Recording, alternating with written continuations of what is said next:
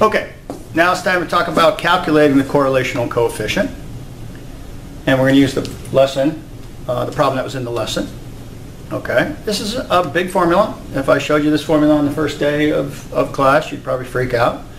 But now, after doing standard deviations and doing some other calculations, you know what sum of x is, you know what sum of x squared is. That's all we're doing. Just a little bit more, and, and that's it. Formula's a little larger. Okay, so you can do this formula.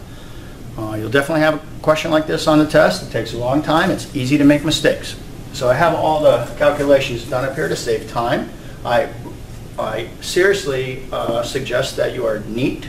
You keep uh, scratch paper and you uh, go in a neat fashion. So the way you'll get the problem on a test is you'll get these two values. You'll just get two columns, an x and a y value for a correlation, and I'll say what is the r value or what is the correlation coefficient. So you'll start with these two, an x value and a y value. And if you look at our formula up here, the Pearson product moment correlation, I mean, it's a big chunky formula, but it's 150 years old, it's been working like a charm. N is the number of pairs, okay? Number of pairs, we count them, we have eight. So you put eight in whenever there's an N. We have this thing called sum of x and y. This is new, we've never done this before, but it makes logical sense. You just take the x score multiplied by the y score. x score times the y score gives you this xy score. And then of course we're going to sum them up and put the sum of xy's in the formula. Then we have the sum of x and the sum of y. We've done that. Sum of x, sum of y.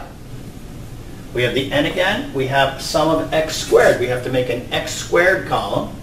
So we take all the x's and square them, just like we did when we calculate standard deviation.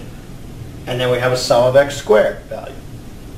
What's new here is we also do the same thing for y. We have sum of y squared. This is sum of x, of course. We already went over that. And here's sum of y squared. Sum of y squared, we just make the y squares 104 times 104. We add them up. We have a sum of y squared. And that's it. The last one is sum of y. We already went over that. It's right here. So this is what I recommend. You make this table. You do this on your spreadsheet. You double check all your answers before you plug anything in. It's easy to make little mistakes here. Okay? It's easy to say, you know, 10 times 10 is 1,000 instead of 100. Okay? Those are simple mistakes to make. So make sure these numbers, I would double check all these numbers before you start dumping them into the, pro into the problem. And this is what accountants do. When they count numbers, they'll count from the top down and then they'll count from the bottom up and see if they come up with the same number. That's a little trick for you. All right, once we have all the numbers, we just plug them in on the formula. And I highly recommend that you transpose the formula on your scratch paper. I've been teaching this class for a very long time, and the biggest problem students have is they're sloppy. They got the formula way over on this sheet, they start to work on half the problem on this sheet, and they miss something. They miss a square. They miss a negative. They make this addition instead of subtraction. They make this multiplication. Here's a hint. If you get a number on your calculator that doesn't fit, there's nothing wrong with the calculator. There's something wrong with one of your signs in here. Okay?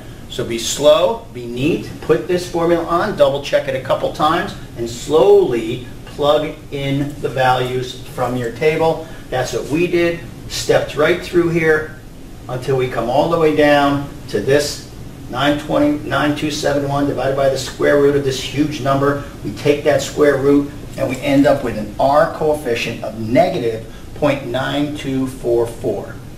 That is how you solve for the correlation coefficient.